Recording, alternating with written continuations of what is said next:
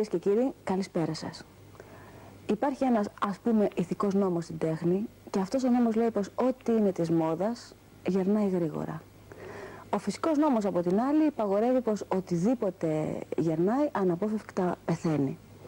Δεν ξέρω αν έχετε παρατηρήσει ότι ωστόσο υπάρχουν πολλά τραγούδια δεύτερης διαλογής που αν και γερασμένα από γεννησιμείο τους εν τούτης, ε, άγνωστο γιατί επιζούν πολύ περισσότερο από τα έργα μεγάλης εμβέλειας.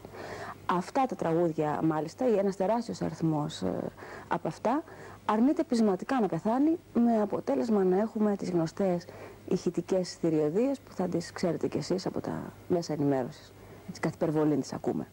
Το θέμα είναι πως μέσα σε αυτό το μουσικό εμιδρίο που ζούμε, όπου ε, μέσα σε ένα μουσικό συνεχές που η μουσική δεν καταναλώνεται σαν μουσική, αλλά σαν θόρυβος, ε, καταβάλλονται επιστημονικές προσπάθειες να εξομοιωθεί το γούστο του κοινού. Το κοινό είμαστε εμείς, για μας μεριμνούν οι άνθρωποι δηλαδή.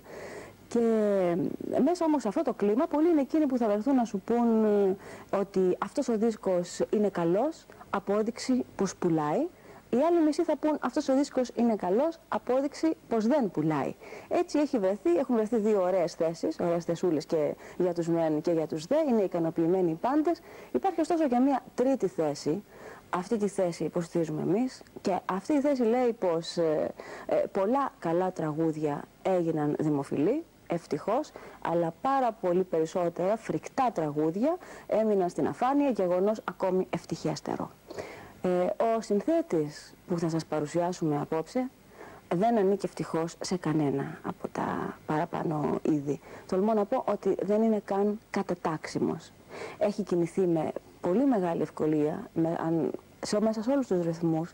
Ε, μπορεί να γράψει ένα ζεϊμπέκικο αλλά και ένα κομμάτι jazz, ε, μπορεί να κάνει μουσική για τον κινηματογράφο αλλά και μέσα στο θέατρο, μέσα από τα ηχοχρώματά του να προσδώσει μια άλλη διάσταση ε, στους ε, χαρακτήρες, δηλαδή να, δραματουργικά να κάνει την παρέμβασή του, ε, αλλά ε, αυτός ο άνθρωπος ε, σε σχέση με το σουξέ και με το πλατή κοινό πάσχει από ένα είδος ε, αθεράπευτης θα έλεγα αμύθανατηφόρας ανεμίας.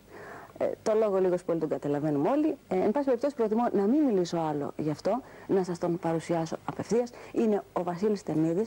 Ενημερωθείτε για μια μουσική δουλειά που δεν έχει τύχει της δημοσιότητας που κατά τη γνώμη μου της αρμόζει και μετά τα ξαναλέμε. Βασίλη, ο λόγος είναι σε σένα.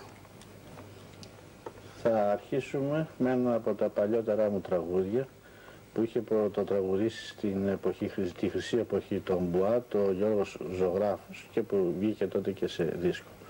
Σήμερα όμως θα το ακούσουμε από την Ερίκη Καγιαλόγλου σε μια καθαρά δική της προσωπική απόδοση.